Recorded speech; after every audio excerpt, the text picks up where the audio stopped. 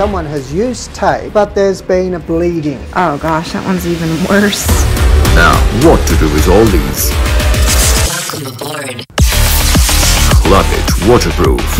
A paper tape that's 100% waterproof. Activate.